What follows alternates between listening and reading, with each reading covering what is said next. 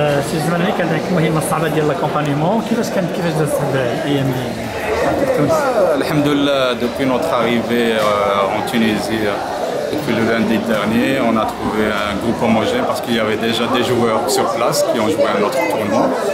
Donc on est arrivé au complet euh, le lundi et depuis donc, les deux premiers jours, les joueurs se sont entraînés. Par la suite, à partir du, mercredi, on a eu droit aux, compétitions. Euh, le niveau était très relevé par rapport euh, euh, aux éditions précédentes, surtout les Égyptiens, les Tunisiens, les Sud-Africains. Et puis l'équipe du Maroc dans son ensemble n'a pas démérité. Même les 14 ans filles et garçons, et même les 16 ans filles et garçons, ils ont fait de leur mieux. Alhamdoulilah, on a eu euh, trois équipes euh, qualifiées, les 16 ans filles et 14 ans filles, ainsi que les 16 ans garçons. Et même pour les 14 ans garçons, ils méritaient de passer.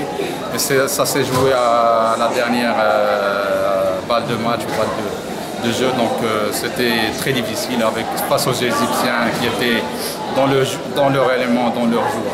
Et puis il ne faut pas oublier que c'était juste une équipe qui passait. Donc il fallait faire un sans faute quand même, on, a gagné les quatre premiers matchs, mais face aux Égyptiens, donc euh, c'est dommage.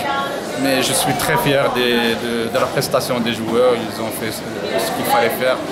Ils ont défendu les couleurs du Maroc, donc euh, je ne suis pas déçu du tout. Je suis très fier d'eux. Merci.